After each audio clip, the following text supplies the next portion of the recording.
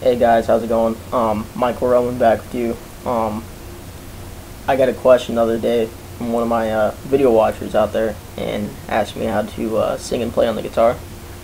Um, I, I couldn't I couldn't bounce back with a uh, with an answer for that, but I thought about it. And when I first started out playing guitar, I always wanted wanted to sing when I was playing, but it's not that easy. It takes a lot of practice. What what you want to do when you want to start singing and playing at the same time, like say if you're your your own cover band or you want to be a background singer in a band, um, you got to kind of get get with the rhythm a little bit, you know. Um, start playing a song, practice it, practice it, practice it, and then when when you think you got it down, you can start talking, you know. Start like don't start singing the song, just start a conversation with someone or just talk to yourself. Just throw some things out there. Like I, I, I say some stupid shit when I play because I'm when I when I start working on the song, um, I like to uh, you know just make sure that I can sing and play to it. So I'll just start talking, just start saying like nonsense and stuff. And then when you feel like you can talk and play, I mean you you feel like you can sing and play. So like when you play like Hard to Love, like that's one of my favorite songs to play now. That or Hurt by Johnny Cash. Um, like I can I can sing and play to that song perfectly. Another thing to do is you can just mute the chords like this and just make your own strumming pattern and start talking. Just start saying like nonsense, throw some words out there.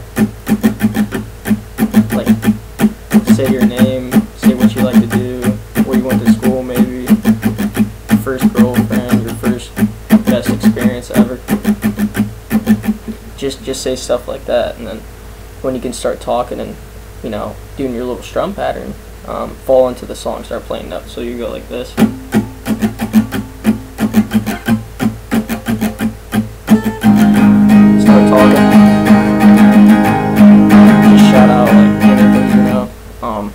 So like go go to your strumming pattern. I mean start play it for a little bit before you start talking. Play it for like maybe a minute, and then fall into it. You know, like a conversation or like a follow up question or something play that for about five minutes while you're talking, then switch into a chord and start talking. If you can't do it, fall right back in your strumming pattern with your hands muting the chords. This is this is just the way I taught myself. Um, I also like uh, there's other videos out there like Marty Schwartz. He's really good. Um, Taylor Edwards. She's she's a really good singer and guitar player at the same time. Um, but pretty much it's just I mean you can teach yourself, but if you follow that tip that I just gave you, it'll it'll definitely help you out it's not something that you're going to learn in one day. Um, it's going to take maybe anywhere from can take from a week, can take to a couple years. It's just how you how you learn. Um, a lot of people when they're trying to sing and play, they they think a lot. Um, that's one thing you don't want to do. You know, don't don't think during the song. I mean, think before the before you start playing, but when you're in the middle of playing the song, you just don't want to think. That's the last thing you want to do. So, just put out randomness, I guess.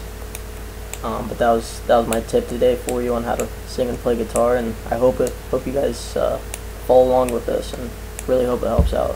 Thank you for watching my videos.